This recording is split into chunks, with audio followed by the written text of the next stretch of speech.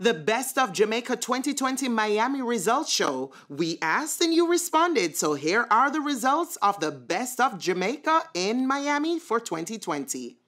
This is Nigel. With the new Digicel International app, he can connect with loved ones in so many more ways. Now, a click with Digicel International is a click to more.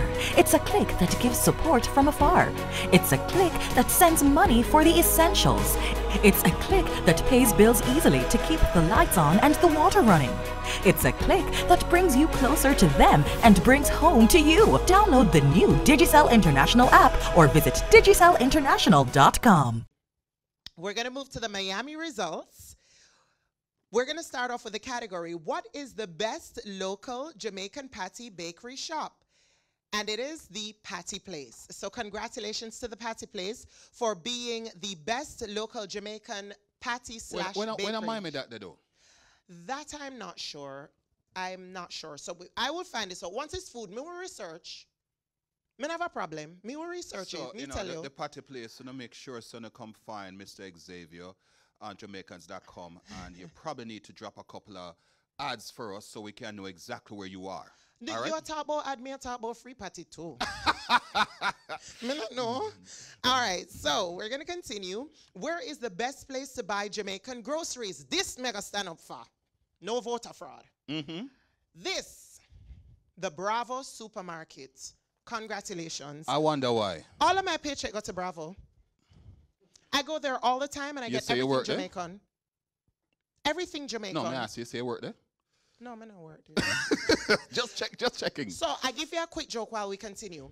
I went to Bravo when I just came up here because you know when you come up, the Jamaican still in you. Yes. I went to Bravo and they had hardo bread. To my surprise, I was like, hardo bread in the front. So I go to the front and I asked the lady, "Can I get a half a bread?" She looked at me weird. Like half a bread. I said, "Like, do you guys cut the bread in half?" She said, "When you say half, like you want a smaller bread?" I said, no, ma'am. Like in a Jamaica, we know about half a bread. And mm-hmm. hardo bread, once you say hardo bread, you know it's synonymous with cut it in a half.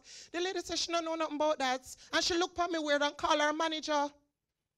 You see, from that, and when I realized that everybody in the line I look at me from that, me never buy another hardo bread at Bravo. But that's another story for another But, time. but them said them are the what? The winners? Yeah, they are the winners. So congratulations to the Bravo supermarkets.